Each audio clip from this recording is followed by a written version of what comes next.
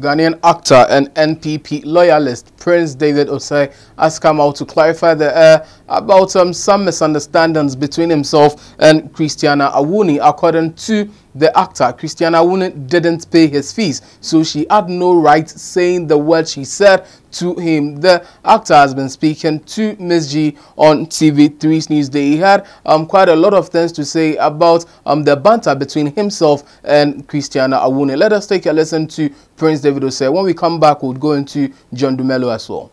We all have, that's why I said, if you understand democracy, we all have the right to belong to whatever faction you want to belong to. Abu Jinapor, John Jinapor, they're two blood brothers. One is NPP, one is NDC. They are both going to parliament this year. So we need to understand something. It was necessary that I go to Ayawaso. Mm. Taking into retrospect the, the full, you know, election, I, I was supposed to go there and I went. Look at how the whole election turned out.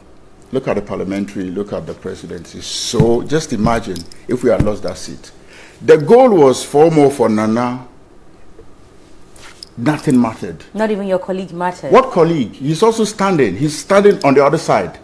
Mizi, are you saying if it was me that was standing, John would say, okay, his whole campaign for Mahama to retain power, he's going to ignore it and say because Prince David wants to stand?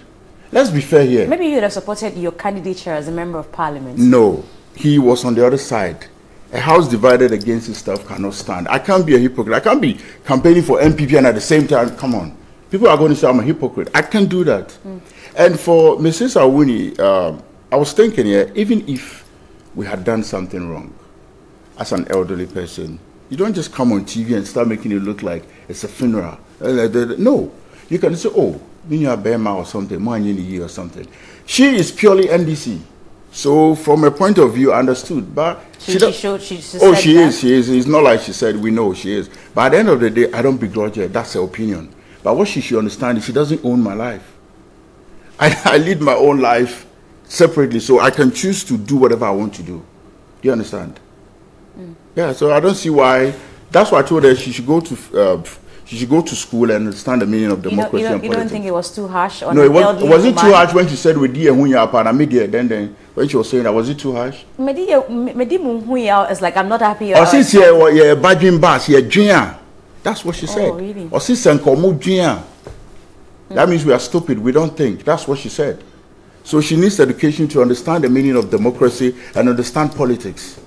You see, until people come to this realization, people will just be taking things personal and taking things to heart. All right, so that was Prince David Osei clarifying um, the issues between himself and Christiana Awuni. As you rightfully heard, he said the best thing Christiana Awuni should have done was to call him and then they would have spoken on phone or something like that. So uh, it would have been settled amicably than just go on um, radio and then be ranting at him saying that um, he's ungrateful and then all of the names and all of the things Christiana Awuni said about him. It's been talking about John Dumelo. It says that even John Dumelo um, understood the fact that he was going to be campaigning for Nana Addo Dankwa Akufo-Addo because um, he's an NPP um, loyalist and then his allegiance lies with the NPP. However, John Dumelo asked him to vote for him um, during the elections because Prince David Osei also happens to find himself within the Ayawaso West Wuogon constituency where John Dumelo contested uh, Honorable Lydia Seyram Alhassan for the parliamentary seats. He had a lot of revelations to make about John Dumelo and then one of the things he also said was that John Dumelo doesn't post anything from his side. Prince David Osei says that he's been doing a lot of hard work, um, has been doing so many things, but then none of his colleagues support what he does. So it's not as if he's not supporting John Dumelo or anything like that the industry itself is a divided one. And of course, a house divided against itself can never stand. Let us take a listen to the Ghanaian actor. Never been unity. How many times have you seen any of my colleagues post my artwork? Let's say I do a movie or premiere or even my birthday. Have you ever seen John posted me on his page before? You have a personal friends? problem with him? No, I'm just saying, have you ever seen? I don't have a personal problem with it. As a matter of fact, what happened um, recently, I and John have spoken about it three months ago when we met at Reggie Vine um, shop opening at East Legon. Also, Charlie, we saw Bahado. And I'm saying, I know so many so better trauma. And I'm so so the me know, I mean, we are cool. And also, me papa, and I'm sure every day. So we laughed about it. So we all saw this coming. And John doesn't have a problem. John doesn't have a problem at all. So I don't understand because myself, Calibos, John even called Calibos the next day and said, hey, Onyamo mommy pressure. So I didn't understand all of a sudden people started, you know, inciting hate. No, John doesn't have a problem. Let me go back to what you said. You said you met him, and then you said you said they he said, oh, like I'm coming hard, oh, and I'm serious. Then he was like, oh, minimum what media over and I'm sure I got so. That's what you did. Sorry? That's what you did. And now that no, you you told my John, and now that Oh no no! As to I mean, when I went into the booth, I was alone there. So as to who I voted for, I can. I So can't you, you, you told him a lie at that time. You just had to tell him no, something. I didn't tell him. Like he said, he said on himself, no dear, met and I'm sure yeah. You got him. You said you told him you got him, but Yeah. you didn't have him. I didn't have him. How? Uh, you said you, you got him, but now you didn't get him. Yeah. Gatti, were you in the booth with me when I voted? I mean, that's what I'm asking you. yeah, so you don't know who I voted for. But you just said you can't be a hypocrite. So Yeah, that's what I'm saying. Mm. No, coming out boldly he, to support him, I can't do that. Mm. I'm I'm for NPP. So if I'm for NPP, then obviously it has to be NPP. so that means that your vote also went to the NPP Definitely. for parliamentary and. Uh, Well, I don't have to. Why, why, why are you not? You're, you're have to- strong I don't- I don't you're, you're you strong. You're strong on the uh, the presidential, but you're No, not so because strong. you see, what people don't understand is before you saw those pictures, Ah. I live at East. Okay. Every now and then when I drive, I'm campaigning. At the washing base, car wash, I'm campaigning, people in traffic. So I've been doing this job until you guys saw the picture. That's why it's funny to me. If, if anybody hadn't seen a picture of me and my leader, they wouldn't have known I was working. Uh, it's just it's just one of those Okay. So prior to that, you're already working. I stay there. Anytime I come out of my mm. house, I'm I'm campaigning. Mm. I wasn't working for her, but I'm campaigning for Nana Addo. Okay. So do you understand? So by extension for yes. Malidia. So until mm. you guys saw the picture, we, we were working. It wasn't just that day. Do you understand? So so so. And as a matter of fact, that day we went to Jamestown. We went to Ablekuma. So it wasn't just Ayawa. So. but that's what got a lot of people. Yeah, talking. but I mean, All right, so that was Prince David Osei clearly voicing out some of his frustrations right there. And then the stories with Prince David Osei, the NPP and all that, um, it's quite a lot. But let me say a very big thank you to Dr. Amuzu Herbal Clinic. I've been telling you over the period of time that Dr. Amuzu is saying that if you have penis problems, then they are your best option. They are your best shot. They are your best solution. Dr. Amuzu says that do you have um, problems with your penis in terms of um, are you having erectile dysfunctioning? Um, is your penis shrinking? Are you having an early discharge within uh, two minutes of intercourse? Then we are bare mana unhuaba and yet come all you have to do is to visit Dr. Amuzu and then they have branches all over the country from Sunyani to Tadi to the central region here in Kumasi and of course in Accra uh, so so please do all to contact Dr.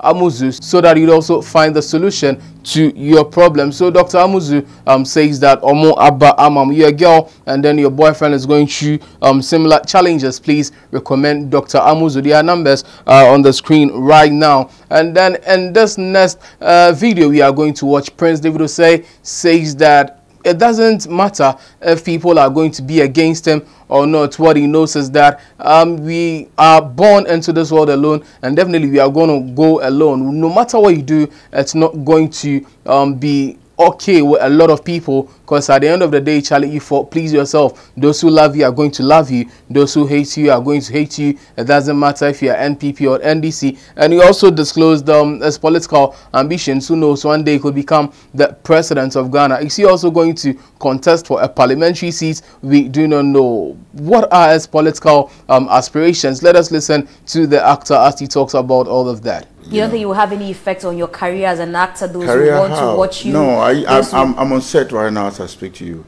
You see, those who will watch you will watch you. Those who will love you will love you. Busy. There's no point trying to fit in somewhere you don't belong. I've been in the industry for 17 years now. Wow. So I know the dynamics. People will smile at you, but de- deep down they don't like you. They wish you were dead. So there's no point trying to play for the people. I don't care. Mm. I mean, I just do mine. If I have to do a movie, I'll do it. That's all. This morning I got a call from Nigeria to film. So it, it won't stop me from doing my job. Mm, mm. If somebody feels like they don't want to watch me on TV, as soon as you see me, put off your TV. Uh, So you're, you'll be losing fans then. Sweetheart, it's God that watches over us, it's not human. You see, sometimes you need to, how do I put it? You need to take that bold step. We evolve. Tomorrow I might end up being the president of Ghana, who knows? I'm not going to be an actor forever. All right, so um, news reaching our outlets is that Ghanaian comedian and also actor Funny Face is in critical condition at the Korle Bu Teaching Hospital right now. The information we are gathering is um, scary and heartbreaking, but then we wish Funny Face well. And then Abba the Great posted it on her Instagram page. And then Abba the Great is actually one of um, the very few bloggers you can trust when it comes to issues like this. And this is no prank according to Abba the Great. She posts a picture of Funny Face on her Instagram page, and then this is the caption she gives it. She says that I've just been informed by a security personnel from Kasoa that Funny Face has been admitted at Korle Bu Teaching Hospital. Let's pray for our brother Funny Face. Sending love and light your way, bro. Okay, so this is coming from Abba the Great Funny Face and of course baby mama Ama Vanessa have been in the news over the period of time from We Smokers, from Ella and Bella, and then all of that. And then even recently, the Almighty God blessed them with um, a bouncy baby girl. So we say thank you to God Almighty on their behalf. And then whatever funny face is going through right now is at the hospital. And a lot of people seem not to be believing the story. They are thinking it's a prank. So let me read some few comments then uh, we proceed. And um, Eunice Afrakuma Boata saying that is pretending so to get sympathy. And then Abba the Great says that um, no dear this time it's real. And then elaine saying is saying that oh what happened this time around? Hope he is okay. And then dr dako is saying he better get well soon. Now child support money no is very important. So these are um some of the comments from social media. Some are saying that maybe is pulling another prank and others are saying that it could really really be serious what funny face is going through at the moment. We do not know if it's been admitted for depression reasons or otherwise but then funny face is at the Korle Bu teaching hospital right now as I'm speaking to you. We pray um, that he recovers speedily. We wish him a speedy recovery. But then we'll bring you all the updates on that funny face story. Do not go anywhere. Keep um, your channel logged here on Ghana page and then for the best updates we'll bring to your doorstep. And then this is where um, I wrap up. Do not forget to subscribe to our channels across social media. Ghana page on YouTube, GHP News on Facebook